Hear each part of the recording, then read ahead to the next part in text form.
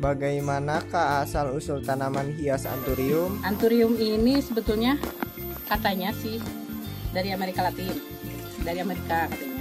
Tapi yang yang eh, yang mempunyai suhu eh, apa apa eh, iklimnya iklimnya sama dengan kita di sini, yaitu eh, tropis ya.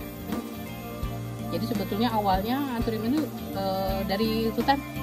Kenapa dia tidak terkena tidak tidak bisa terkena matahari langsung karena dia ada di eh, di bawah pohon, di bawah kanopi itu. tertutup Eh, pohon itu. Makanya di sini kita pakai eh, ini ya.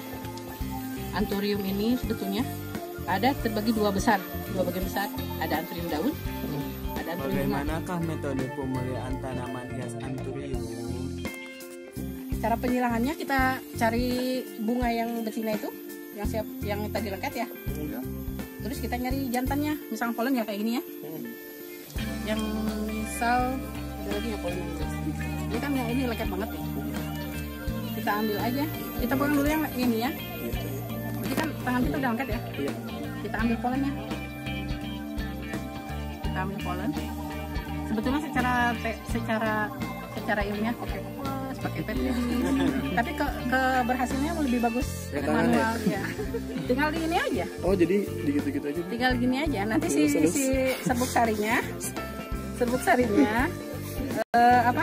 Nempel di kutik. Guntik gitu Iya, ya kutik yang lebih matang. Nanti dikasih kode. Oh yang udah ada Bagaimanakah hasil pemuliaan tanaman hias anturium? Kecil-kecil kecil biasanya dari dari si semai itu tiga hari dia keluar akar. Dia akan dulu. Tiga hari? Keluar akar dulu. Tiga hari keluar akar satu minggu keluar daun. Cepet. Nanti 40 hari di bedak individu kayak gini. Udah gini udah dibesarkan seperti itu. Oh iya benar. Kalau mau dilihat satu satu grup ini satu populasi dari satu hasil persilangan. Kalau mau diamati ya